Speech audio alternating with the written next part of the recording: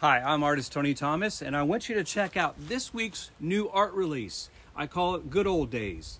So, a while back, Phyllis and I uh, traveled to Independence, Kansas, and she participated in a waterfowl derby with Hunters with Mission. And I grabbed my easels and paints and decided to do some plein air painting. While driving down a county road, I discovered this old barn. So, I literally parked our car on the side of the road, set up my easel, got all my paints out, and I began painting this worn down, tired looking barn. I just had to paint it.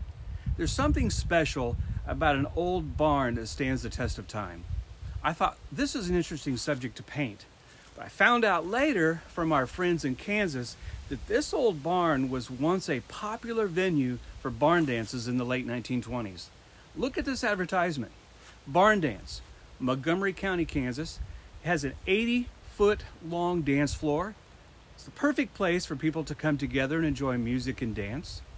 And the barn had a massive parking space of 80 acres and an additional 100 acre landing field, which made it popular, a popular destination for guests who flew in from afar to attend the dances. The Haymo Trio uh, was the band, and they played traditional square and round dancing tunes. I tell you what, if these walls could talk, I had no idea about the exciting history. Despite the passing years and the weathering uh, of, of storms and seasons, this barn remains steadfast and unyielding. It's almost as if it has a stubbornness of its own, refusing to give up and fall like so many others have. Perhaps it's the memories of the barn dances and the festivals that once took place within its walls. Whatever the reason, this old barn is a symbol of resilience and endurance that continues to inspire. This is the original painting from that plein air experience. I called up my friends in Kansas and I asked them, hey, do you think it'd be possible to get some wood from that barn? I'd love to build a frame for it. And here it is. And I just love the how this barn wood shows off the original paint now faded.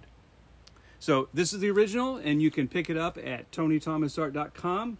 You can also get uh, prints, canvas wraps, and framed prints of this painting right here. Today, the old barn may be quiet, but its history lives on, and it remains a cherished part of the community's cultural heritage, a silent reminder of the good old days in era gone by. Thanks for watching. We'll see you next time.